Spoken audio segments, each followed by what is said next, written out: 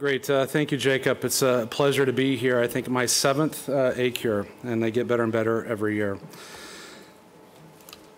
These are my disclosures, but I do have one more disclosure, uh, and that is that I believe the right ventricle is the most important ventricle, and I love talking about it.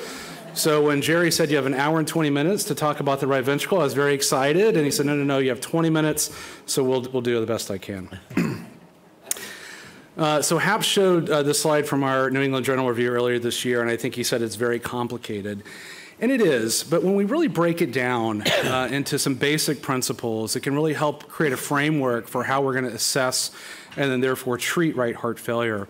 So we have, of course, four main determinants of RV uh, function, preload, afterload, contractility, and lusitropy or active relaxation. And it's important to realize that these determinants all impact one another. For example, if we have excessive afterload, this can lead to RV dilatation, tricuspid regurgitation that will actually then increase our preload. If we have a reduction in contractility, again, we can get RV dilatation, causing increases in preload. Reduced lusitropy can cause ventricular interdependence, impacting contractility. And so, well, unfortunately, what can happen is this uh, circle of death, as it's called, and the ultimate end is development of right ventricular failure. So, with that context in mind, let's talk about how we assess the right ventricle. And we have great imaging modalities to do that, right? We have echocardiography, we have MRI, we have simple metrics on echo like TAPSE, trans, uh, tricuspid annular uh, plane systolic excursion. And we know that this is prognostic in patients with heart failure. We can look at fractional area change. And then we have MRI, which is probably our best uh, uh, surrogate for structure and function of the heart. And all of these discriminate survivors from non survivors uh, in patients uh, with heart failure. And so they work really well when the RV is very dysfunctional. But I think often what's most important is to assess the RV when it's mildly dysfunction or, dysfunctional or borderline dysfunctional or when the patients have hidden right ventricular failure.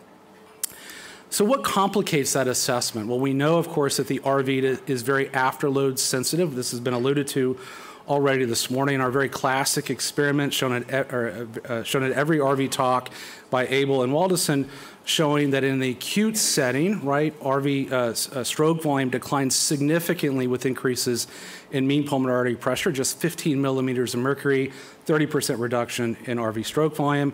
Compare that to the LV, 40 millimeters increase in systolic blood pressure, uh, really only a slight decline, decline in LV stroke volume. But I think what's less appreciated is that the RV remains afterload sensitive even in the chronic setting. So one of my favorite studies here by Anna, Anna Hemnes at Vanderbilt looked at hemodynamics before and after nitric oxide administration in patients with vasoreactive pulmonary hypertension. As you would expect by definition, pulmonary vascular resistance fell in this group after nitric oxide, and this was met by a predictable increase in stroke volume. So it really speaks to the idea of afterload sensitivity, and many of our markers of how we assess the right ventricle, which depends on stroke volume, are indeed afterload sensitive. So how did we get around that? And of course, it would not be an ACURE talk if we didn't show at least a pressure volume loop. Uh, and of, of, course, this is the gold standard for assessing RV function uh, and, and to assess RVPA coupling. We've used these techniques to try to understand differences in subtypes of pulmonary hypertension. Here showing that patients with scleroderma-related pulmonary hypertension have decreased intrinsic contractility compared to idiopathic pulmonary hypertension patients. Uh, and, and, that is uh, even despite no differences in conventional imaging or hemodynamics between the two groups. We've shown that these multi-beat pressure volume loops can predict uh, time to clinical worsening in pulmonary hypertension. And we've even shown differences in uh, gender uh, in terms of contractility, perhaps explaining why women tend to do better with the development of pulmonary hypertension than men. But this can be a little bit complicated, right? We have to reduce preload. And so there are less invasive ways to do this, and the so called single beat estimate is one of those. And this is based on the principle that we could estimate a maximal pressure that the RV could generate if it was ejecting into infinite load, for example, if you tied off the pulmonary artery. And so to estimate this, we can fit a sine wave to the isovolumic portions of the RV pressure tracing, and this Pmax max then gets paired with end diastolic volume. Our other point is our end systolic volume and end systolic pressure, and the slope of that line is our measure of contractility. And in this uh, study of normotensive dogs, you can see there's a relatively uh, good correlation between the uh, predicted Pmax and the observed Pmax when they actually tied off the pulmonary artery of the dogs. Uh, it appears, uh, for the most part, that these single beat estimates are good surrogates for multi beat measures. This is work from uh, uh Khodr Tello and Manuel Richter and Giessen. And you can see that there's a good correlation there between the multi beat and single beat approaches. But I will say, in someone who's done a lot of these, that it's very highly dependent on which points you select in those isovolumic phases. And so, to use this clinically, we really need an automated approach. And so, we recently uh, worked with Rebecca Vanderpool, who's at Ohio State. Uh, and we used an automatic program to derive single beat measures of contractility to compare contractile generation before and after LVAD implantation and various approaches to LVAD uh, implantation. So you can see here the patients who had an LVAD implant, this is durable LVAD implant, via sternotomy approach had a significant decrease in their contractility, where patients who had a less invasive approach with a thoracotomy, actually they, they showed preservation of contractility with that implant. Well, what about just a simple right heart catheterization? Which of our hemodynamic variables uh, correlates best with true right heart uh, function? This is work from Imran Aslam and Steven Hsu, where they actually took a, a single myocytes, skinned them, put them on a contractile apparatus, and exposed those uh, myocytes to different levels of calcium to create force, force tension curves. And then they looked to see which of these hem hemodynamic uh, parameters correlated best with myocyte contractility. What they found was that it was the pulmonary artery pulsatility index or pulmonary pulse pressure divided by right atrial pressure or PAPI. It was our best hemodynamic predictor of contract, or correlated best with RV contractility in this study, better than the RA pressure to wedge ratio, better than right ventricular stroke work index. What other less invasive surrogates do we have to assess the RV? One that we talk about a lot is the TAPSE to PAPSI ratio, we know this is highly prognostic in patients with, with heart failure. Dr. Burkhoff has shown us it can be helpful when we're assessing the need for a tricuspid valve intervention in patients with heart failure. And you can see uh, in this study by, by Tello, there's at least a moderate correlation between the TAPSE-PAPSI ratio uh, and RVPA coupling. It's not a perfect measure, of course. We know that TAPSE is load dependent, so to some extent we're double, double correcting for load, but it's still a reasonable surrogate. Probably the best surrogate we have uh, is RV strain. Now, I want everybody in this room to remember, of course, that strain is not a measure of contractility. In fact, it is very afterload dependent. Shown here, no correlation between uh, intrinsic RV contractility and strain. But again, in the study by Tello, we do see a good, a, at least a reasonable correlation between single beat measures of, of coupling uh, and global longitudinal strain of the right ventricle. Well, what's on the horizon? And I would submit to you one of the things that I just described to you is a bunch of measures of right ventricular function at rest. But perhaps we need to assess the RV uh, during a provocation to better assess that. And so one of the ideas is, uh, should we be looking at RV reserve? So this is a study of a piglet model of pulmonary hypertension where they measured pressure volume loops and then they gave those pigs dobutamine to look at changes in stroke volume index. You can see the black bar there, the rabbits with the most severe uncoupling uh, had the least increase in stroke volume index with dobutamine, where the rabbits that had preserved coupling had the most significant increase in stroke volume index. And you can see there's a relatively linear relationship between stroke volume index reserve and resting RVPA coupling. We have exercised our patients with pulmonary hypertension and found a similar scenario here. This is uh, exercise RV ejection fraction from conductance catheters, but this can be done with exercise MRI as well.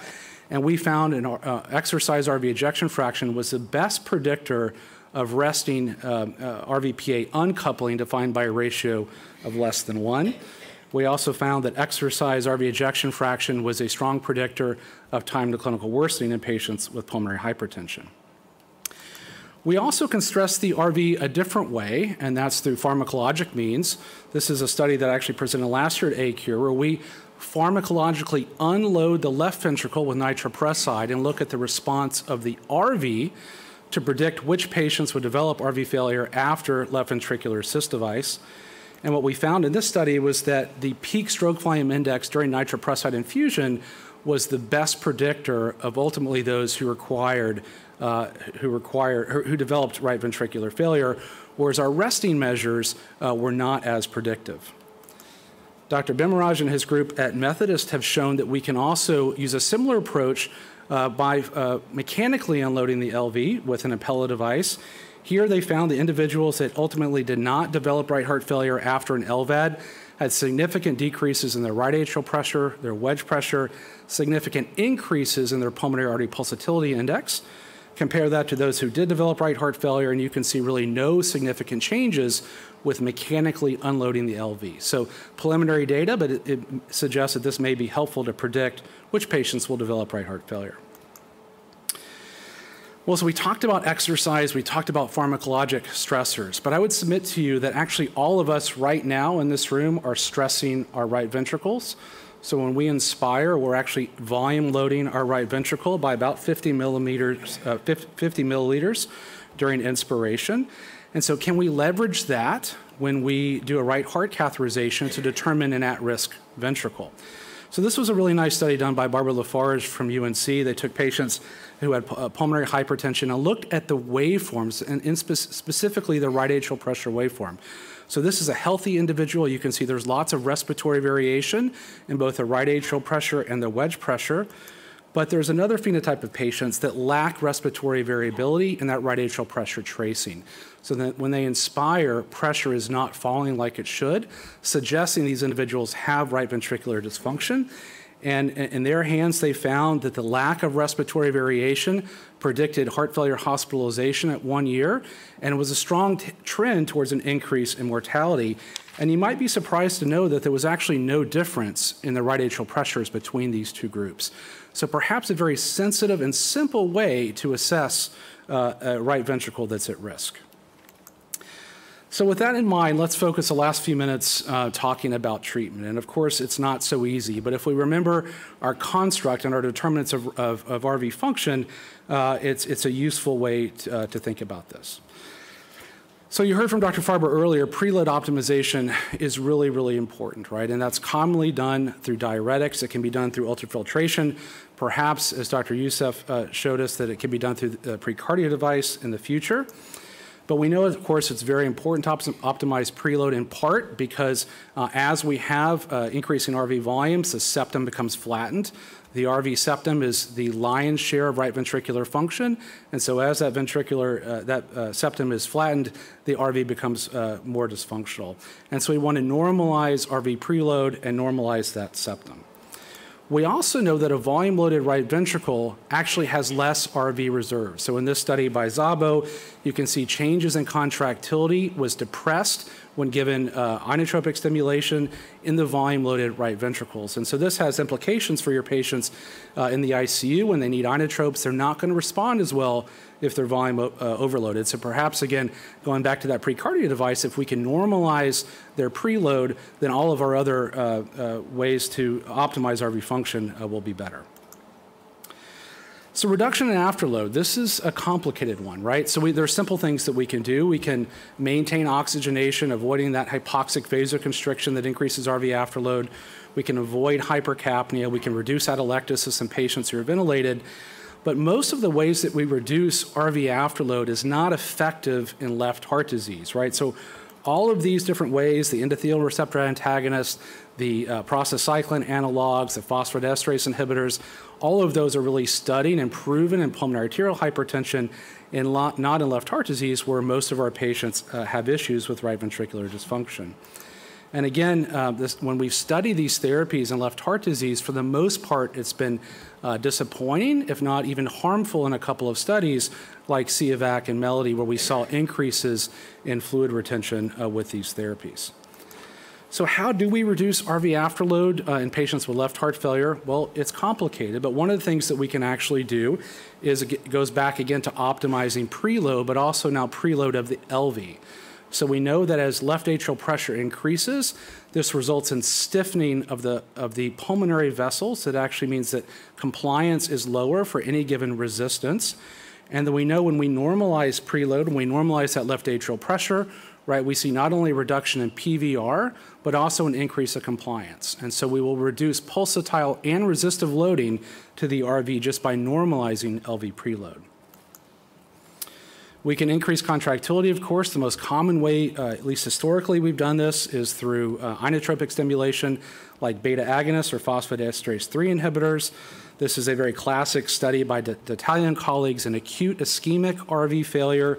And you can see here that in uh, patients receiving dobutamine, significant increases in cardiac index. There was a question brought up by George earlier that talked about volume loading these patients. And the reason that volume loading works in some individuals is because in the setting of a, an MI, you have a vasodilatory state and your RV preload is not sufficient. But you can see in this study here, when your CVP was 11, absolutely no benefit to volume loading those individuals. So yes, you can volume load those individuals, uh, but only if they're preload deficient. Once they're tanked up, you're not going to cause, you're not going to have help them, and you potentially could actually hurt them. I do want to mention the importance of optimizing LV contractility because we know that the RV depends on the LV for a significant portion of its function. In this study, you can see uh, when we unload the LV, it actually results in a decrease in LV contractility and therefore a decrease in RV contractility. So if we over uh, preload reduce somebody with an Impella device, for example, this can lead to a decrement in our RV function. We also know that decreasing LV afterload too much can be a bad thing, right? So in this study, they actually did aortic banding of patients. With aortic banding, we get an increase in LV afterload. We see a rise in LV contractility, and this therefore increases RV contractility. So the correlate of that, if you are hypotensive, LV contractility is going to decline and your RV contractility is going to decline. So we have to support the systemic blood pressure in our patients with RV dysfunction uh, for this reason and also for issues of coronary perfusion. And then finally, uh, there's a lot, and we discussed a lot in this meeting about bypassing the need for inotropes, right? We know inotropes increase oxygen consumption. This may be harmful, particularly in patients who have an acute MI. And so there are, of course, temporary uh, MCS devices like the Impella RP there's ECMO and different configurations that we've heard a lot about uh, that can be useful in patients with left heart disease. They're still not well studied in patients with pulmonary arterial hypertension, but perhaps that's coming down the road. Other therapies that are on the horizon. This was a, uh, a, a, preliminary study that we did in patients with pulmonary hypertension looking at right atrial pacing in patients who are not tachycardic but in right, uh, right heart failure. We saw a typical force frequency response with right atrial uh, with right atrial pacing, with an increase in contractility at higher heart rates. You can see these individuals uh, all had high filling pressures uh, at rest, and with pacing, we saw a decrease in the RV filling pressures, perhaps a reduction in pericardial restraint, and this led to an increase in cardiac index. This is very different than if you try to pace somebody with left ventricular failure, where you see an increase in heart rate is offset by a decrease in stroke volume. So perhaps more to come here, particularly in the post-LVAD patients, uh, but at least hypothesis generating. And finally, I'll leave you uh, with this device, which is currently in EFS testing. Uh, this is a, um, a passive balloon device that's put in the pulmonary artery uh, that actually, uh, during systole, it's deflated, during uh, diastole, it inflates, and essentially helps uh, push blood out of the pulmonary artery, increasing compliance and therefore decreasing RV afterload. So again, a hypothesis generating, but may be helpful in the future. So to summarize, when we're dealing about with the RV, we have to consider, consider the mechanistic determinants of right heart function uh, when both assessing and treating the RV. Assessment of the RV is complicated by afterload sensitivity sensitivity. The single beat approach uh, to pressure volume analysis, if automated, may prove clinically useful. In the meantime, surrogates like PAPI, the TAPSE, PAPSE ratio, and RV strain may be reasonable. And finally, uh, as we think about treating individuals with uh, RV failure, we want to do, use preload optimization, afterload reduction, increasing contractility, and or support devices, particularly in patients with concomitant left heart disease. Thanks very much for your attention.